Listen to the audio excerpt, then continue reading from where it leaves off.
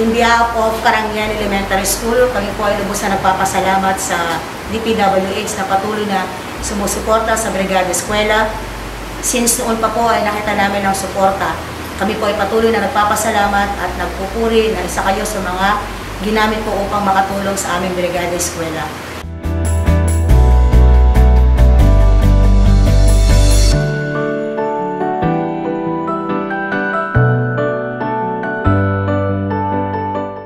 Po, Brigada Eskwela 2022, na nakita po namin ang patuloy na suporta ninyo sa mga pagtitrim, paglilinis po ng aming paaralan. Lubos po kami nagpapasalamat. Mabuhay po kayo, DPWH.